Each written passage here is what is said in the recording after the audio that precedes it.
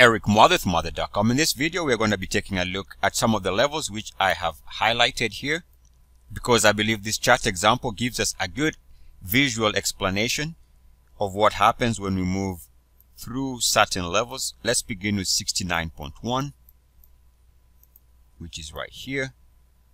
You can see that corresponds with this monthly drop.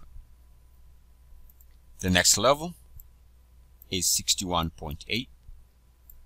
And again, we can see drop slicing through that level coincided with this monthly drop.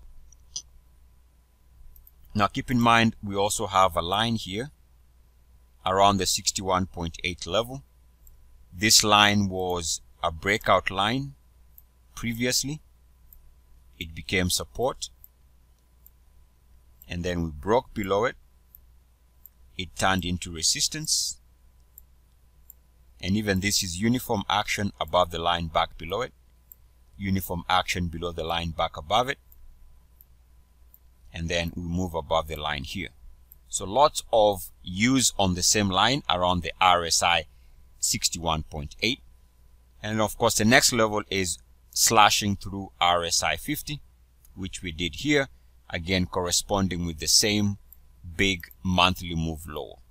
So you drop below RSI 50 also corresponding with this big down month now the next level, so we've seen the 50 level also. The next level is 38.2. And you'll see here we try to hold. We held here for that low. We held here for this low. We held for that low and then we busted through that level which is this big monthly drop so again, we see evidence of what happens when you slash through 38.2.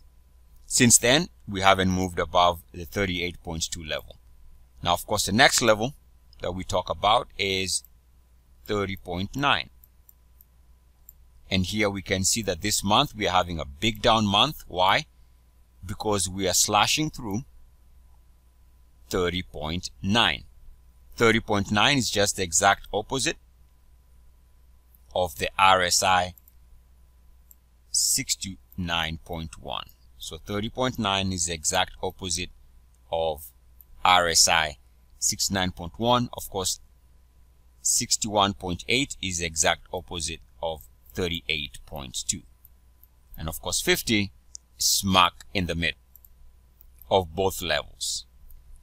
And that's how we can understand how to approach some of these levels because they do determine some of the major trends that we see happening in stocks, cryptos, commodities, forex, you name it, anywhere in the world, there is a market. Eric As always, good luck, peace, and blessings. E, a C, S. Woo!